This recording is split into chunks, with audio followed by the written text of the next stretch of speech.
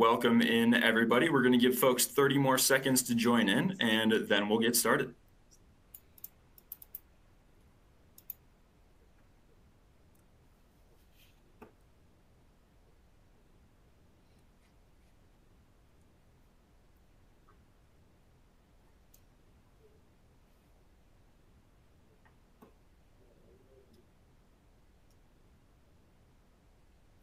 Okay, we are a little bit past the top of the hour. So again, welcome everyone. We have a great webinar for you today and a great group of presenters. Just a few housekeeping notes to start off with. We are recording today's webinar and we'll be sending a follow-up email to all of you with a link to the recording and slides. We have a few slides to kick off the webinar, but when we shift to the panel discussion, please feel free to customize your screen by clicking and dragging on the slides and media player to adjust the sizes on your screen.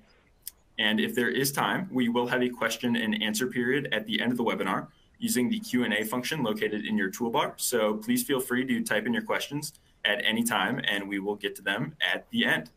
Again, we have a great webinar for you. To start, I'd like to send it over to Sally Lyons Wyatt for the introduction. Sally, the floor is yours. Thanks, Joe, and thanks everyone for joining us. This is, as Joe talked about, our 2023 edition of the U.S. CPG growth drivers and growth leaders, excuse me. And we are here to talk about what were the things that drove growth for these leaders um, in their respective categories. We have spent um, months trying to go through and not only look at the numbers, but to understand what were the themes that really resonated with um, the brands that were able to find growth because as we all know it's been hard to do so over the last couple of years. So with that i'm going to hand it over to my partner Carrie, kara loyes kara? Thank, thank you sally. One so just to, to set up on the context of the report this is our 12th annual uh, report for the uh, cpg growth leaders um, and one that is unique in its ability to accurately measure total omni-channel performance and study the drivers of that performance at the same time. So some housekeeping, we're looking at companies with above $100 million in sales across CPG retail channels. Um, so that's over 600 companies. And comparing companies across their peer set to other uh, similarly sized companies and finally uh, decomposing that growth into what were the drivers uh, for our leaders in 2023. So some of the uh, the measures behind it and the analytics behind it. Um, this slide just summarizes how we're breaking down and comparing companies. Um, so we're looking at these top uh, these five buckets of sizes. So those um, and today we're focusing on the conversation on one billion dollar plus manufacturers, which we break into eight billion dollars and above, two and a half to eight billion, and one to two and a half billion. On Thursday, we'll also be talking with uh, some of our clients in the underneath $1 billion size group, uh, which we break out between 500 million and a billion and 100 and 500 million. If you go down, we're, we're breaking the performance into both retail sales growth and market share performance, both dollar and volume. Um, so the, the way that we are ranking these companies is a composite score based on, on these four measures. And then finally, as we look at who are the drivers and what are the drivers of their perform performance, we're looking across all different types across um, Circana's assets uh, and wide uh, data range. Uh, so consumer, pricing, media, promotion, distribution, and, and so on. And that's what uh, will bring together the uh, discussion today and then uh, part of the, the, full report that will be available in a week, couple weeks. So just a quick setup on where we are uh, with the industry. Um, in the Thought Leadership Group, we spend our time looking across uh, CPG. Um, so the, the U.S. market in this year continued to see high uh, percent growth versus year ago. That's the, the purple bar, the dollar sales growth rate. Um, and as we know, this was a lot driven by, by price. On average for the year, price grew 6.1%, um, but that came down from 10% in the beginning of the year to 3% by the end of the year. Um, so that kind of that lapping and the incremental price inflation slowing down by the end of the year. Fortunately, at the same time, our volume has mostly unwinded itself from the highs that we saw in 2020. Um, so while overall volume declined in 2023, the uh, by the end of the year, we're starting to see that mostly unwound um, and starting to kind of flatten out and, and starting to grow. Um, and as we look through 2024, will be the key differentiator uh, in uh, in driving growth. Key trends within the market: um, trading down both outside of CPG to CPG, in which case CPG benefits from the kind of do-it-yourself as well as within CPG from higher brands um, to store brands and, and better value. And additionally, value channel capturing a greater portion of uh, larger trips overall uh, and accounting for more of the everyday pricing um, that consumers are using versus high low uh, promotional spend. Now, as we break down the the, the analytics behind the the drivers of growth, uh, what we're doing here is uh, looking at the the growth drivers for our growth leaders versus other companies.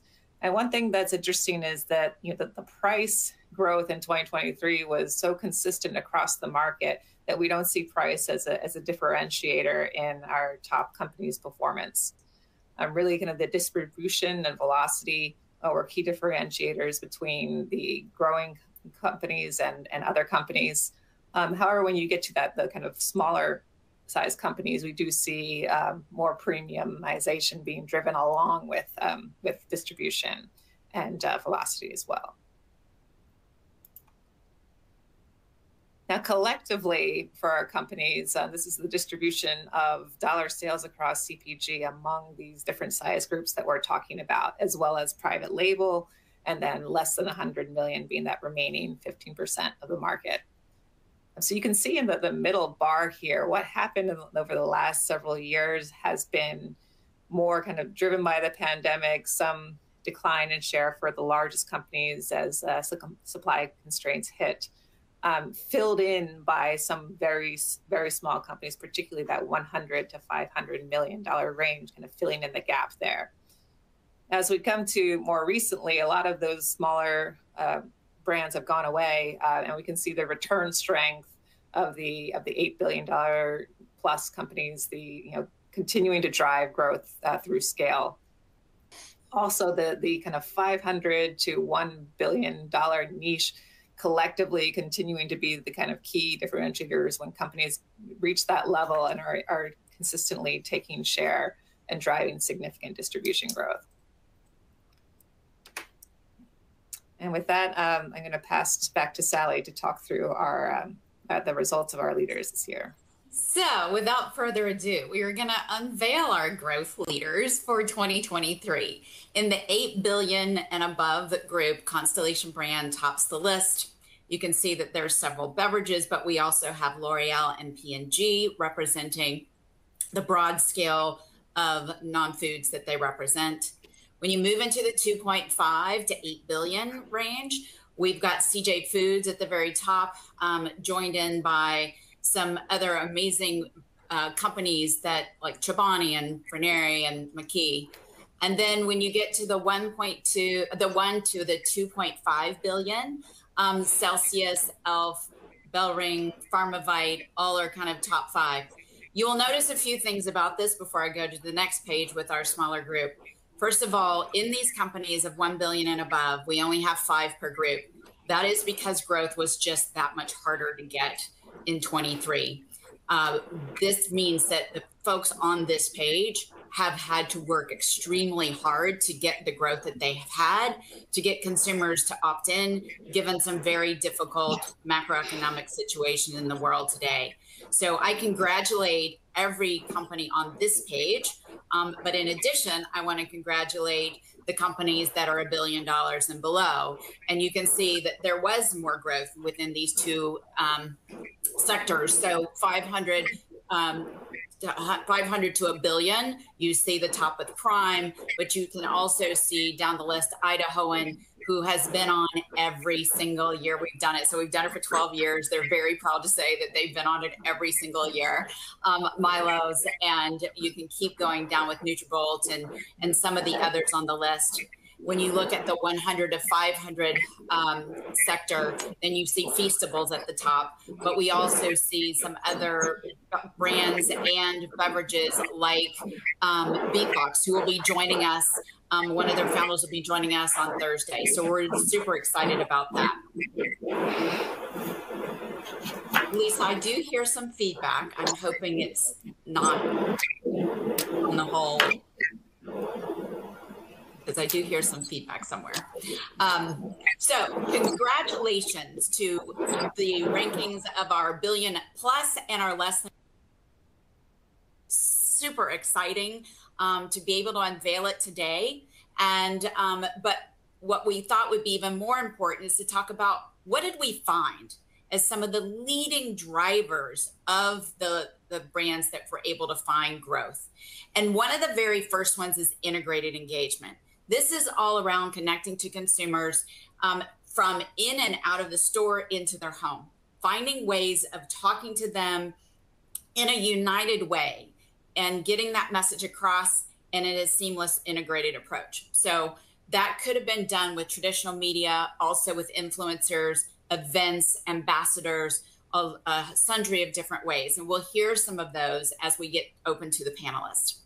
Continuous newness you know, it isn't just about innovation. Um, we, what we saw was kind of ongoing innovation and bringing news into the categories in which they compete. Um, maybe that's with larger and smaller introductions, new attributes. It could also include fun, but also practicality. We did see that consumers are willing to pay for premium products, which some of the newness was that. But it wasn't just this one and done. Many of these companies were bringing in products from their different portfolio within their portfolio from different brands um, within the portfolio to help drive that continuous newness. Premium and value bifurcation. It's funny because whenever we talk about this, people are like, well, you just said people trade down, but now you're saying they trade up. Well, they're doing both. Um, it is complex, but we're seeing that consumers will indeed opt in for premium when we, they want to have that out of home experience in the home. They're willing to pay for that.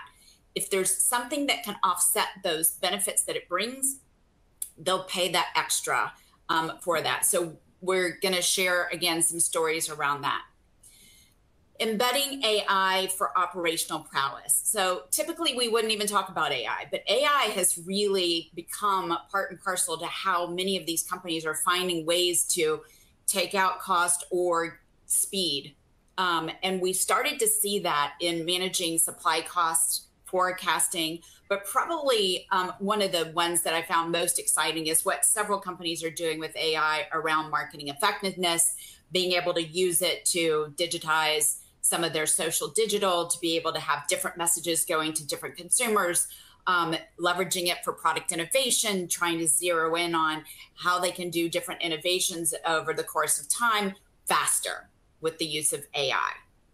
So these are our four drivers for the 2023 growth leaders. And now um, this will give you the full swath of the other themes that we found as we went down below. And some of these aren't new, right? So multi benefit and convenience. Um, multi benefit, we've seen that for several years. It continues to be one of those top drivers. It isn't just great to have hydration, you have to have hydration plus, maybe energy or performance or well being. Um, from a convenience standpoint, it's not only convenience of being able to find it when you're out, but also convenience for from a packaging perspective. Fun and indulgence nostalgia comfort flavor taste quality simple ingredients. You can see these. So the the kind of those different trends that are beneath the four that i just shared with you before are very similar to what we've seen in the past but just we feel like they've upped the game gone a little bit more premium in many of these um, and definitely it resonated with consumers so now let's find out how these companies were able to find that growth. We're going to open this up and introduce you to the three panelists we have. So we have Shannon Durham. She's the Senior Vice President, Commercial Development of Chobani. So we're excited to have Shannon. Rhonda Hoffman, who is the Chief Growth Officer for Pharmavite. And Mike McGrew, who is our EVP, Chief Communication Strategy, ESG, and Diversity at Constellation Brands. So, with that, we are now going to open this up and let you listen to these amazing companies and what they did in order to drive growth. But my first question, and I'm going to go to um, Shannon first, is what were the key challenges in CPG um, in 23 from your perspective? And what were the drivers of your success? Thank you. It's great to be here. Good afternoon, everyone. Good to see you. Um, and thanks for a wonderful panel this afternoon. I'm excited to be here and talk to you a little bit. Um, you mentioned some of the challenges that I think we all faced in CPG in 23, but um, cer- certainly we saw con- continued pressure as inflation continued to kind of shape purchasing power for the consumer. Um, we saw overall unit declines and softness across the total store. So those are um, sort of as they as the consumer trades in and out of channels, in and out of um, their shopping patterns, they became more discretionary in their purchasing power, and we saw those um, that softness kind of uh, live on, if you were, if you will, in in 2023. Thank you, Mike. How about you? You know, I, I would say we saw many of the same things, and I think you know from the standpoint of our business and our industry, for for those that aren't aware, Constellation Brands is a beverage alcohol company. We're across beer, wine, and spirits with brands like Corona, Modelo, Pacifico, Meiomi, Kim Crawford, Prisoner Wine Company, High West, yada yada. So, um, you know, from our standpoint, the only thing I would add, it might be a little different from what was already said, is is shifting preferences amongst our consumer base as they're looking for you know options that promote a sense of betterment or better for you uh, more flavor more flavorful options and then uh, you know that offer more convenience uh, for their active lifestyles. And so you know i, I think from our standpoint uh, the thing that, that we've benefited from is a consistent and disciplined approach uh, to, to the way consumers at the forefront of everything that we do. We spend a lot of time constantly talking to consumers, uh, gaining insights that give us clues as to why they choose us, the meaning of our brands in their lives and day-to-day activities, uh, and their motivations. And so, you know, we kind of leverage those insights. Uh, I think in a lot of our marketing communications to dramatize that then and play it back to them in ways that that resonate emotionally. Uh, and you know, for us, I, I think that speaks to you know the, the the strength of our brands. We've been able to build brands that people, you know, our mission is to build brands that people love, and they come they come back to time and time again. Uh, you know, the strength of our brands, I think, has yielded uh, 55 consecutive quarters of growth um, and counting. So uh, it's yielded uh, our presence on on this top 10 list uh, for I think the past 11 years. We may not have all 12, but um, and and so you know that that would be the only thing I would say was uh, a little different from our standpoint. Well, but you touched on some of the trends that I showed on the pages before around re- kind of relevance. You use preferences, but that means you were relevant with what consumers were looking for. You talked about flavors, convenience, um, but that whole consistent discipline. I think is probably one of the marks of why you've been on the growth leaders list for the last 11 years. So um, that's impressive. Um, and last but not least, um, let's see, I would love Rhonda to weigh in. Sure, um, happy to. I think you know it's what was remarkable to me is how the the trends that impacted 2023 really transcended multiple categories because ours is fairly consistent in we see consumers settling into whatever their new normal is in a post-pandemic world that we're all living in um, and we saw a real um, need for consumers to seek out the experience from the various categories where we compete while also looking for the right value proposition for them. And so that really played a, a key role for our business.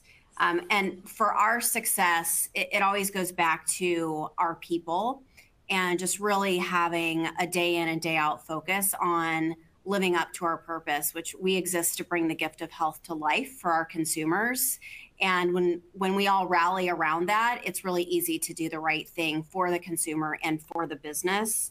And I think that's really been pivotal in our ability to transform the company over the last several years. Very helpful. And I think, you know, that seeking out the value proposition, I thought that was pretty profound because that also changes, but you have been able to evolve and pivot and be um, be able to uh, to find it and then be able to align with the consumer. And obviously, you did it quite well. Thanks. Thanks. Yeah, it's a delicate balance to strike, right? You're trying to manage the cost dynamic that our businesses are facing um, in this environment that we're operating in, but still give the consumer the right value that they're looking for so that your brand can continue to win at the shelf. It makes sense. Thank you. That may be a good segue to talk about um, the, the consumer and shopper trends um, that have driven the market in, in 2023 and, and how that's evolving moving forward. Uh, Mike, maybe we start with you. You talked about kind of the gaining insights and, and using that in your marketing communications. What do you, what are specifically the, the consumer trends and shopper trends um, that you feel are occurring and how are you adjusting? Sure. There, there, there are a number of them that impact our business and that we watch and that we've responded to. Uh, premiumization, you guys have talked about that a little earlier. You know, in a high inflationary environment, folks are watching, they're, they're spending a little more carefully. But, you know, in the wine segment, as for instance, uh, what we've done is we've migrated our portfolio upstream uh, to focus on higher end brands because that's what's, that's what's commanding or driving growth uh, within that category uh, in particular, and that that impacts our beer business, our imported beer business uh, as well. So there are still folks, a uh, good swath of folks that are choosing higher quality premium brands. So premiumization is one of those those trends. I think for us, if you look at our beer business, the growth and influence of the Hispanic demographic uh, in the U.S., uh, their, their influence on on culture.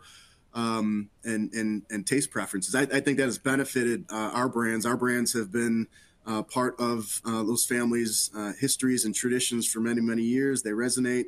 Uh, that that demographic over indexes to, to beer consumption in particular, and, and our brands in, in particular. Uh, and so, you know, it's something uh, that it serves as a bit of a tailwind for us.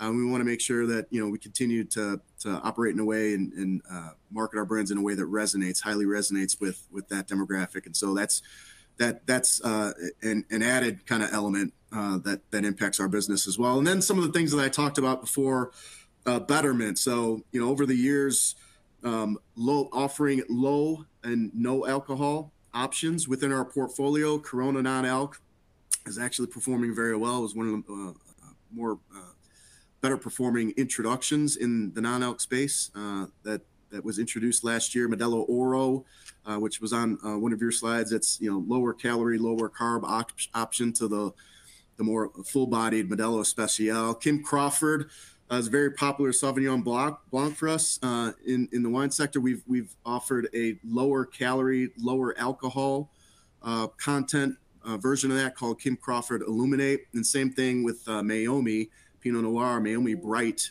is a low uh, low alcohol, low calorie, uh, lower calorie options. So we've tried to really adhere to that betterment, uh, sense of betterment, and then flavor. From a flavor standpoint, uh, you know, in our Modelo family, we, we've introduced a series of Modelo Cheladas, which is essentially flavored flavored beer. Um, which really uh, is helping us tap into the female dem- demographic and younger consumers that crave more flavor. So hitting a different profile and being incremental in terms of the value add to our business. Uh, about a year or two ago, we introduced a brand called Modelo Aguas Frescas, which is uh, a brand. Uh, it's it's uh, nitrogen carbonated uh, uh, drink, very flavorful, but it mimics your traditional Aguas Frescas, which you can find in, in Mexico. So authentic the way it's brewed. And then um, you know we've introduced very recently. Corona Sun Brew, which again is a is a essentially flavor wheat wheat flavored beer, very light in orientation, that we think will resonate with consumers. We're, we're very uh, uh, uh, we're very much looking forward to how that performs in market. And then the only other thing that I would say is, you know, from the standpoint of uh, evolution of trends at retails, you know, we've been able to work with retailer partners uh, across the country, introducing a concept called Shopper First Shelf. Uh, in which we will go in and, and help with planograms that help organize the assortment, the flow, uh, the product mix on shelf, uh, the amount of space that's allocated towards brands. That shelf at retail is precious.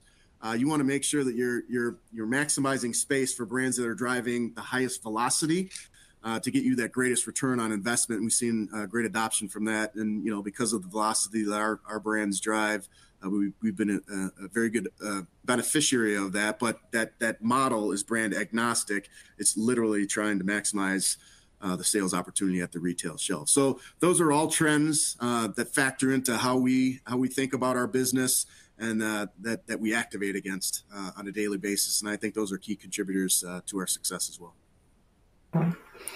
My curious also in the beer space, are there um, different ways in which the shopper is is shopping for um, alcohol and how that may be changing the way you approach different ways that they're shopping. Well, you know, with with the shopper first shelf uh, kind of principle uh, goes by is you know it, it, in in the way that they assort or manage flow.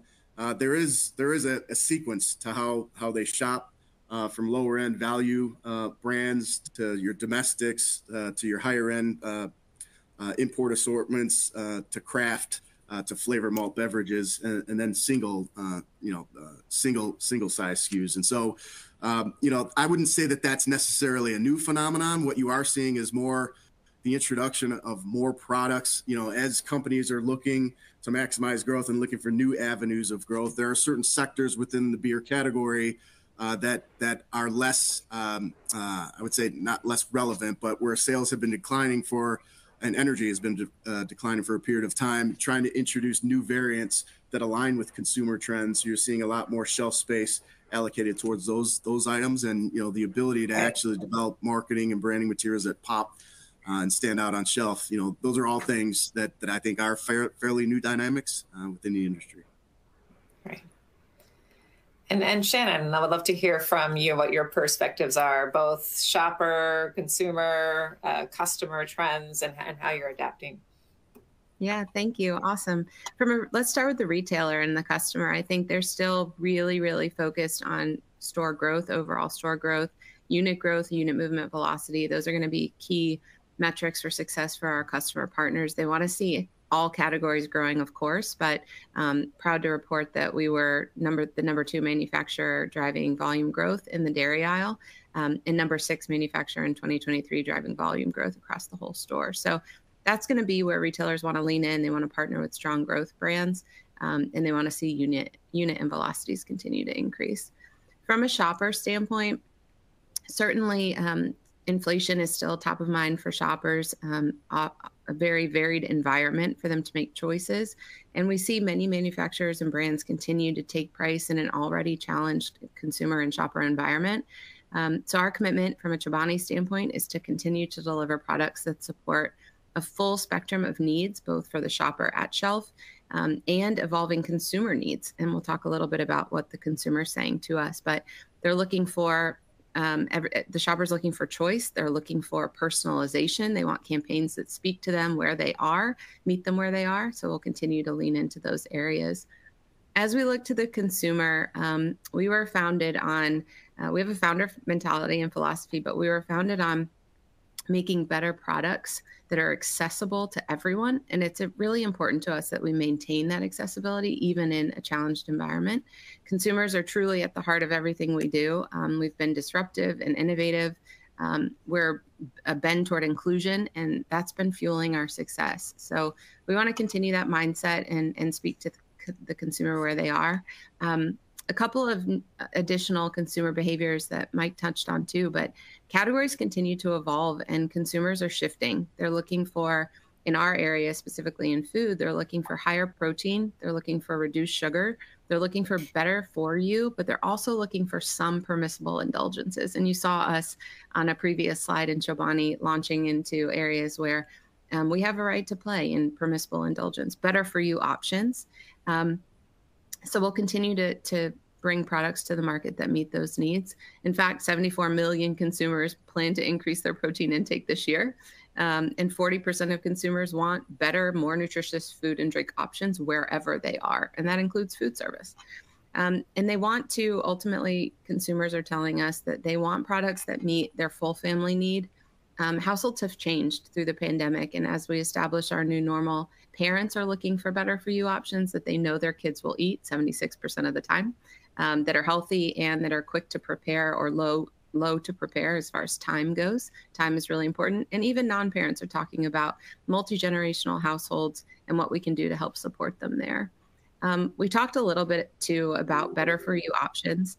Um, consumers are trying to clear the stakes on what con- what's confusing. So they're looking at labels, they're reading about nutrition facts, and they're educating themselves. Um, they're doubling down on things like flavor and really great tasting products. Um, and they want to see seasonal amplification as well. And that speaks a little bit to that personalization that we're seeing um, take hold as well. So I think there's there's a lot um, there's a lot happening in the space. I think if we can continue to partner with our retail customers, drive unit velocity and growth, and then personalize our offers for the shopper, and deliver delightful food for the consumer, we can't we can't lose. Great, thank you, Shannon. And, and Rhonda, what are you, what are your thoughts on this topic? Yeah, I think you know our category, not unlike the those you just heard about. It's um, become very fragmented. Um, it's always been a very highly fragmented category in dietary supplements. It's even more so, especially when you include e commerce in the mix and think about it from an omni channel perspective. So, what we're hearing from consumers is uh, an opportunity to streamline and simplify their supplementing regimen. And we're seeing consumers look towards what we call multi purpose ingredients that can really serve mm-hmm. multiple needs.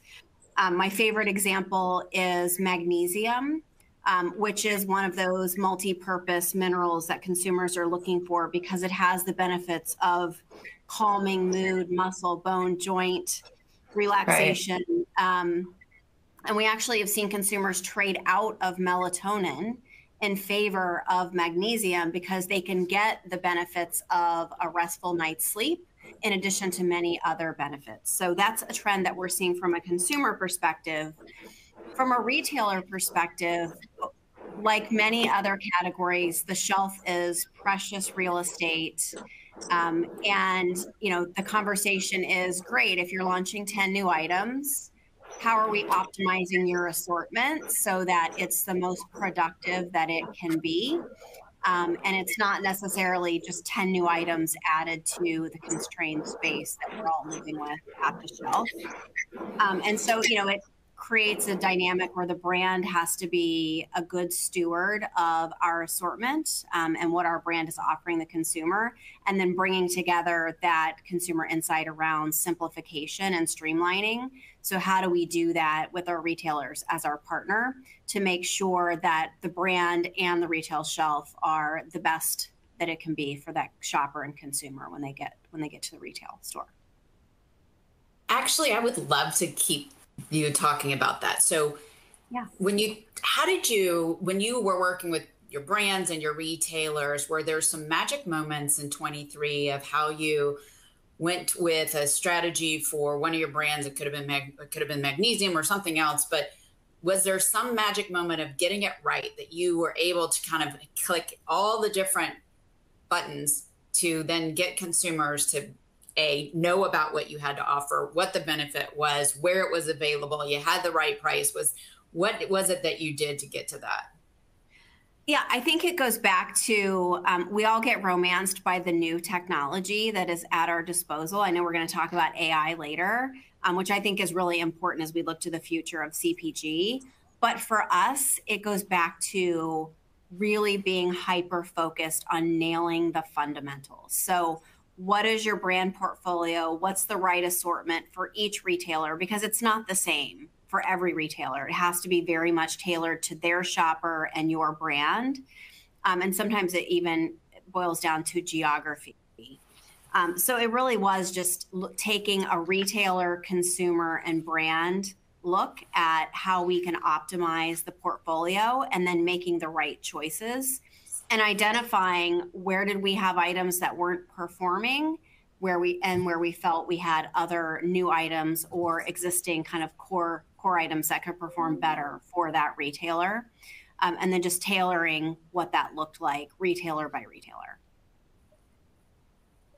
Did you use, do you use personalization? You use the word personalization, but do you use personalized messaging with what you do? We do. We do. Um, it's really more on a, a digital scale for us. Um, we do have a, a personalized um, service on our site so we can tailor regimens for our consumer. Um, but we do see personalization continuing to be a, a big trend in the supplementing space going forward. I think it's just going to manifest itself a little differently than it has in the past. Right. All right, thank you. And Mike, you talked about Hispanics, females, you talked about younger generations trying to find a way to attract some of those into the Constellation portfolio. Um, how, what did you do to succeed to get to those consumers cohorts? Yeah, I think for uh, I, I go back to we we have focused on building a culture in this company that we like to call as consumer obsessed. Uh, so that means everybody throughout the company, regardless of what your role is, has to find ways uh, to stay close to the consumer to gain insights uh, uh, uh related to our consumers. You know, we've over the past several years spoken with 30,000 of our consumers, had conversations with them to understand, you know, why they choose us, the association with our brands, and I think that influences our brand positioning, our marketing communications. It really taps into, I think, those emotions and transports consumers to a place that is relevant to them. So, you know, I'll use an example or a couple examples.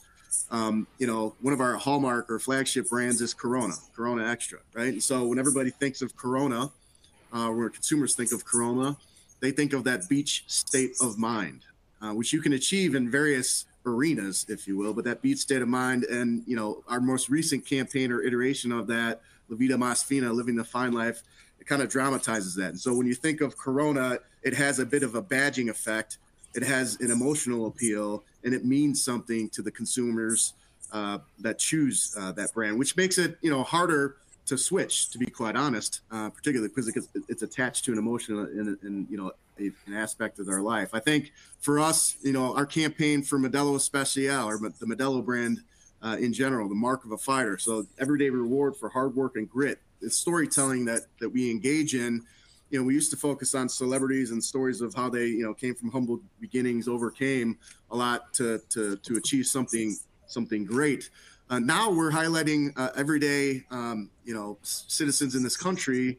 Uh, a grandmother that you know is is working hard in the kitchen to make sure that you know as her family comes over for Sunday dinner that you know everybody is having a great time creating memories. As a as a for instance, um, you know, the story of uh, a, a bartender a local establish uh, establishment who is you know working extremely hard during the course of the night to make sure that his patrons are taken care of so that they can relax uh, and unwind uh, from a week. And so you know i think in the way that we dramatize the insights that we gain uh, from why consumers uh, choose our brands the meaning that it has in their lives it, we've just been able to consistently and in line with the ethos of that brand from year to year to year find ways to connect with our, fo- our, our consumers in an emotional way. And I, I, and I think, you know, what we've done with brands like Modelo, as a for instance, is you know several years ago, uh, you know when I, I joined the company about ten years ago, um, around that time we had only marketed that brand to the Hispanic demographic, as a for instance.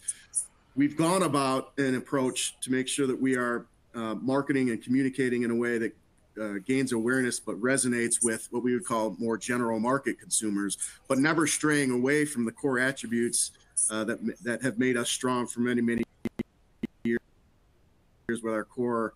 The way that we dramatize or communicate to consumers about the value of this brand and what it stands for, they're values that sort of resonate. Everybody can resonate with that mark of the fire, right? Everyday hard work and grit.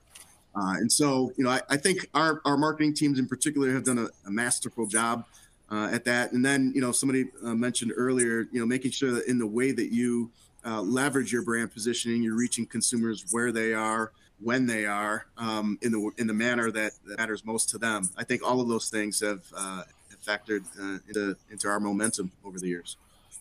Right. So that's amazing. And you actually started talking about emotional, and that made me think. So I'm coming to you, Shannon, about the emotional, physical, and mental well being that consumers are really striving for.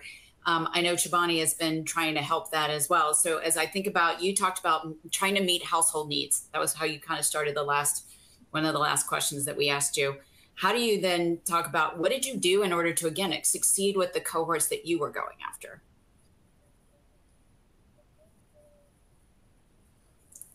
I think you're on mute. Can you hear me now? Yes. Yeah. Thank you. That's a great question. And there are, are obviously a lot of food choices that families are making. So delivering de- delicious and nutritious, accessible, affordable nutrition is at the core of everything we do. But what we heard um, and what we've tried to pivot from a strategy standpoint is in finding ways and, and, times to speak to the consumer throughout their day and less about breaking it into day parts. Day parts was really something we saw a lot when folks were home, but now the day part has shifted and they're the ways that they're working and living um, are, are shifting. And so we've been more foundational in our approach. We've been more inclusive, but we've also been targeting um, behavior that we found was synergistic. And what I mean by that is we we see that um, yogurt shoppers in particular shop and purchase a number of items and that it's expandable consumption. So when you have more in your fridge, you eat more and you serve it more to your family and you give more options to your kids. And um, it's better it's a better for you. So it's also okay to have that permissible indulgence item um, and and serve that to your family too. It extends into the other categories that we play as well into coffee creamer and certainly into alternative milks. So i think it's it's really about expanding um, your breadth and looking at what's naturally occurring in behavior and trying to target those shoppers and reward them for that behavior um, and also give a glimpse to trends and where you think the consumer's headed based on other categories um, based on a lot of you know certainly data and insights that we get but um, just in targeting the behavior that's naturally occurring. So um, I think there's a lot of ways in. If you want to give me one more specifically, I could maybe delve into it a little bit deeper. But um, we're looking at it in a lot of different ways. Oh, that's great. Thank you so much. I appreciate that. Great. Perhaps it'd be a good time to talk about uh, artificial intelligence that's been alluded to um, across, across the group. Um, so would love to hear, uh, perhaps start with Rhonda, um, with how how are you actually using it uh, to date? Uh, where is it most effective? Um, and, and what is your view on this moving forward? Yeah, it's it's a fast evolving area for all of us, I think. Um, and there's three ways that we're using it today um, and constantly looking for additional uses. Um, first is in our creative. So how do we um, develop creative using AI tools so that we can be faster to market with our creative? We're beginning to explore production AI tools. Um, very, mm-hmm. very early, but excited about what we're seeing. Um, we are using AI for personalizing some of our uh, digital content so that we can tailor those messages. And then um, mm-hmm. my team is also exploring AI techniques for copy testing. Um, and have recently had some really good success um, getting even more rapid and I think clear diagnostic feedback using some AI tools to get copy tested. Great. And anything on the uh, the agenda for what, what's priority to to automate next? I mean, the other thing that we're looking at is um, in the area of AI and machine learning is our demand forecasting. So, how do we take those inputs and create an even more precise forecasting process. Um, it's something that we are constantly looking to improve so that we can maximize operational effectiveness. So that's one I know the team is really doubling down on right now. Great. How about you, Mike? You mentioned uh, you know using uh, insights gleaned in directly in marketing communication. Uh, how, how is AI playing a role at Constellation? Yeah, we're leveraging it in, in many of the same ways, and I, I would honestly say that we are you know still early in the game, very early stages of our our engagement. The only thing that I might add that's a little uh, little different uh, is our internal engagement uh, with uh, various uh, AI related tools uh, that are developed behind a firewall by our own team, so that our teams can begin getting familiar with the technology and figuring out additional uses for it. So still early on for us, though, still learning. And Shannon, how about you? It's so similar um, to what Rhonda said, actually. So I think there's certainly a role for AI to play going forward um, in a couple of different verticals. So with data, certainly, um, and and definitely in supply chain and manufacturing. But I think the the ones that I'm closest to that will look um, for are speed to the consumer and speed to the shopper. and how can we get those messages tested? How can we get really great, strong copy that is personalized? And how can we deliver that with speed and not be restricted by the timeframes that were maybe historical um, and with our partners and vendor partners? So I love those answers. And it was, we, as we were preparing for this, we were looking across a lot of the growth leaders and and how they used AI. And you guys summarized it precisely how the majority of CPG is leveraging today. And it is early days. So we appreciate you guys sharing that. And I think that's going to open up new opportunities, which leads us to the last question before we open it up for Q&A. And I will remind the audience that if you have questions, please feel free to put it in the chat. Kara is going to start looking at those now, and we'll open that up uh, with our last few minutes. But because of what I think, you know, you guys have really done a phenomenal job, you and your teams, your companies, um, in finding growth in what has been unprecedented situation in the world and specifically the US. So now as we look into the rest of 24, where do you see your best and biggest opportunities that you're kind of trying to, to go after at this point? So um, Shannon, you're actually top on my screen right now. So I'm gonna go to you first. Okay, good. Awesome. Well, thank you. Thank you for that. You know, I I think we're still on a journey and I think we'll always be on a journey to make social and environmental impact and that's key to our success and something we're really really excited about as we continue to look into 24 um, good food has the power in households and with with our consumers to improve everything um, in our lives with our families with our communities with our econo- economies and our environment. So um, we'll continue to work with really strong talented people um, to make positive impact so i think that's one thing socially and environmentally that we're we're looking at um, I think the other thing that I'm really excited about for Chobani is the future in the future and in 24. You may have seen some really exciting news that came out at the end of last year. Um, Chobani has acquired La Colombe Coffee.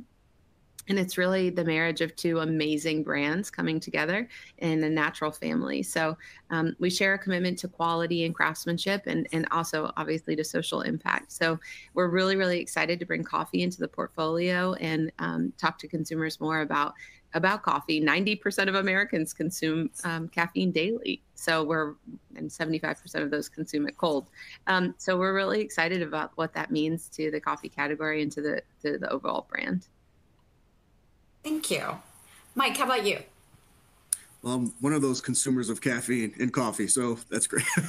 um, for us, uh, I, I, think uh, you know what excites us, or the biggest opportunity, I think, is to keep the momentum going, particularly in, in our beer business you know, there was a, uh, a significant changing of the guard uh, in the beer industry last year when Modelo Especial became the number one uh, beer in the U.S.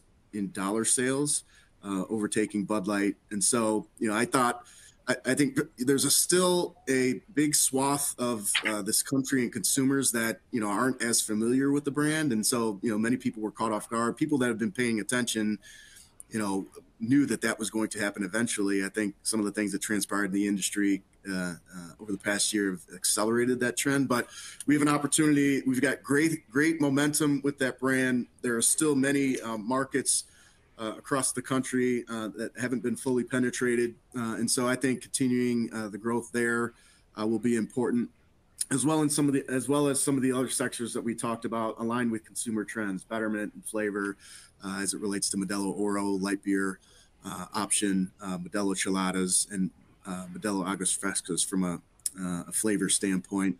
Um, and then, you know, we've got emerging brands uh, that are up and coming too. We've got a brand called Pacifico that, you know, started out as a lifestyle brand.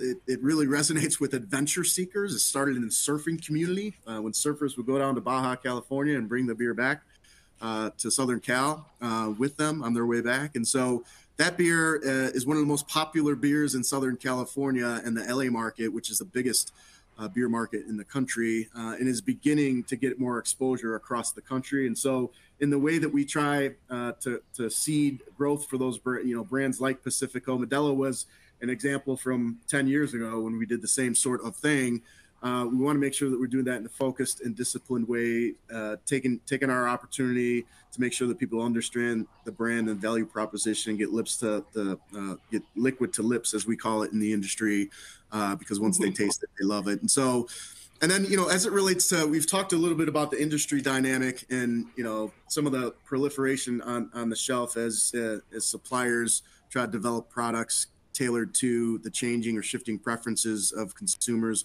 in the way that we innovate and introduce innovation, uh, that's also an area where we like to think that we do so in a very focused and disciplined manner. We test small, we learn, and we expand from there. Uh, we are not a company that is going to, you know, throw uh, a lot of ideas uh, at the wall to see which stick in, in an effort to main, maintain shelf space. We want to make sure that we're bringing value to to our distributor partners and to our retailer partners in introducing products that have staying power on shelf in addition to resonating with consumer trends. So those are all areas that we're focused on. Um, we think 2024, calendar 2024 is going to be a big year for us. Sounds like it for sure. And uh, Rhonda, at Pharmavite, what do you think your biggest opportunities are for this year and going into 25 as well? Yeah, definitely. I mean, we're coming into 2024 with unprecedented momentum. I think the last piece of data I looked at said we're growing eight times our category. So my team is very, very focused on continuing that um, growth trend that we have supporting us and giving us tailwinds. Really, at the center of doing so is innovation and continuing to build on our brand strength. Um, innovation has been really crucial to the brand over the last five years, um, and that certainly is the case in 23 and 24, and even looking into 25. Um, and so we know that our brand wins when we find the intersection of scientific and consumer insight. Um, and that's really kind of what the brand was founded on and what we're really focused on delivering for our consumers. Um, we're really excited about our latest innovation. So we just launched a line of zero sugar gummies um, and have uh, established that platform, and that will be a key pillar for our brand going forward. Um, and I think it plays into some of the trends that we've talked about during this call today. Um, but you know, for us, it really just goes back to staying hyper focused on keeping the consumer at the center of everything we do, nailing the fundamentals, and continuing to invest in, in innovation to grow the business. Well said. I think hyper focused on the consumer is is what I think all three of you have shared with us today, and I love all the stories. We probably have time for one or maybe two questions, Kara. So were you able to find any to? Uh, sure. I, I, think there's a, a, common theme among the questions, um, which uh, is really around the the inflationary environment we've just gone through the increasing cost of living and pressure on consumers. Um, within this environment, you know, as we come out of uh, all the price increases that have happened, how do you approach price, promotion, and premiumization? How are you thinking about that uh, in your portfolios? Perhaps we start uh, with, with Shannon.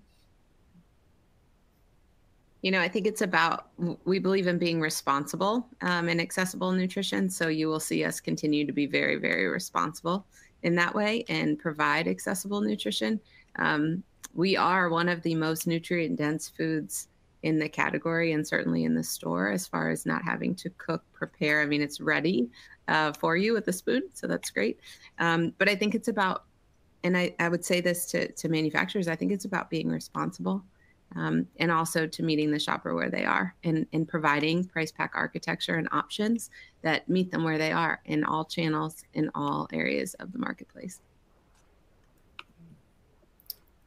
Rhonda, any thoughts from the uh, vitamin world?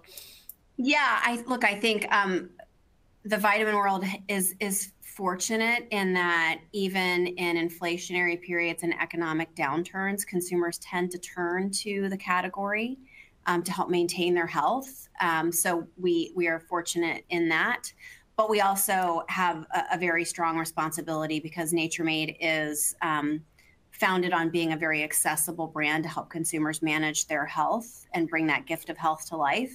Um, so we've implemented a number of what we call invisible to the consumer cost containment measures um, and just looking at wastes uh, that we have in the company that we can drive costs out of our system um, because we faced the same cost pressures that uh, I'm sure everyone on this call has faced over the last few years and didn't feel that we could pass those along to the consumer without first looking in our own operation to find some cost savings. So we've done that and then haven't had to pass on um, pricing to the level that we would have had to. And Mike, any other thoughts?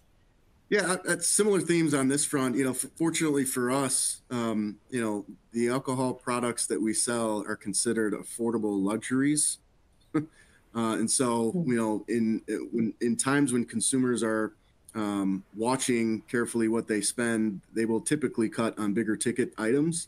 Um, but at the end of the week, when you're looking to unwind, you know, uh, our brands have been, you know, uh, considered affordable luxuries that at the end of the day, um, you know, are part of their kind of routines, uh, if you will, and they continue to purchase. I, I think for us, you know, disciplined approach towards pricing, um, and we've talked about that uh, ad nauseum for our business. So we, we we maintain a, uh, a, a discipline around you know a one to two percent price increase per year approach.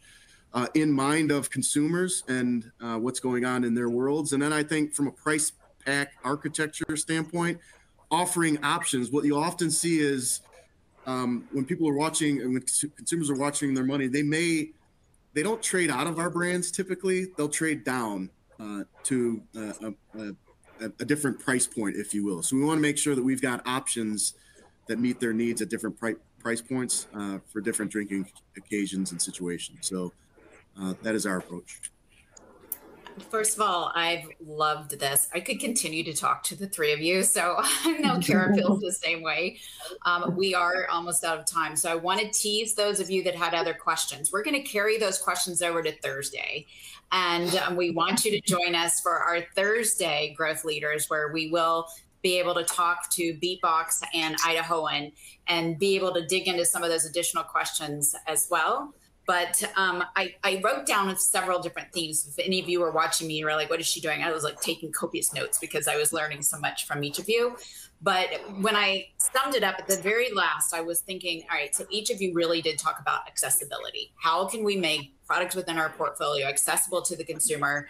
We want to be responsible about it. So each of you talked about how you were trying to price, getting that balance between cost containment and the price to the consumer, and that you each were taking kind of a disciplined approach in how you were going after it but all three of you were very very focused on the consumer in everything that you talked about today from from what you're doing from your innovation to getting the product onto the street to talking about it with personalization um, i think it speaks volumes to how you've been able to not only gain growth but be as you've all three talked about consistently delivering which is so i just can't undermine the fact that that is not an easy thing to do and you were among the best of the best in doing that so, with that, I want to thank you again for joining us. Um, thanks everyone on the call for joining. We will have the replay and the um, charts that we shared earlier available on the console for you to download. But please joining us on Thursday for our second edition of the 2023 Growth Leaders. And until then, thank you so much and have a great rest of the day. See you later.